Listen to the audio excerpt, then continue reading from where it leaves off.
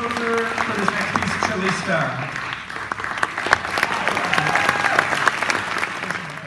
First, Cellista. Hello, thank you for being here tonight. I'm so nervous to be here without a cello. it's very weird to be here on the other side. I was also wondering if Damone could hold my ear. um, yeah, I just wanted to say a few words, if you don't mind, before we start my piece. Um, just again, thank you for being here tonight. My name is Cellista. I'm really honored to be here tonight with my collaborators. Uh, I have my dancers, Erin Simonovich is over there in the corner, and Lauren Baines as well, back there. Um, my wonderful rapper, Simone Carter, or Dumb One. And then also Sarah Booth is here tonight. And then my orchestrator, Charles Barrett, is somewhere in the audience, and I'm glad he's here.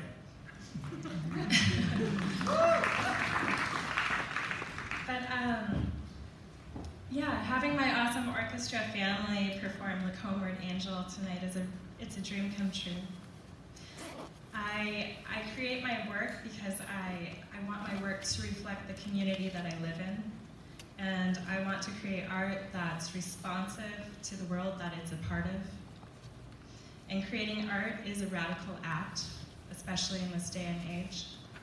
Uh, it opens up spaces for the very many tales that the Bay Area has to give and holds to converge. And the act of performing, um, and the act of performance, both in performing and in witnessing performances, allows for the free crossing of borders, whether those borders be musical genres or artistic dis disciplines or territories. And so that's why it's especially meaningful for me tonight to witness Awesome Orchestra and their own ongoing radical act of inclusive performances.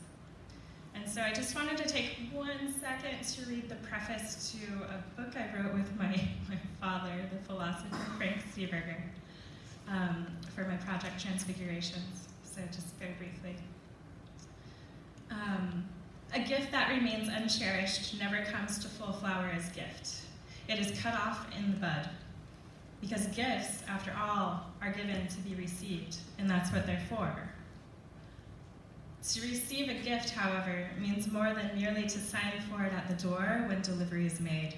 It means to unwrap the package once one has closed the door again on the deliverer, to see what one has given, if one is at that time also given the eyes to see the very gift one has been sent. The greatest gifts we've ever, we are ever given, in one sense, give us nothing new.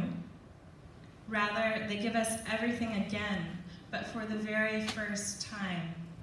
And they do not change anything, they change everything. And those greatest of all gifts are transfigurations. And I'd like to thank the awesome Orchestra Collective and my musical community here tonight, and you as well, my audience, for all the gifts that you've given me. Thank you.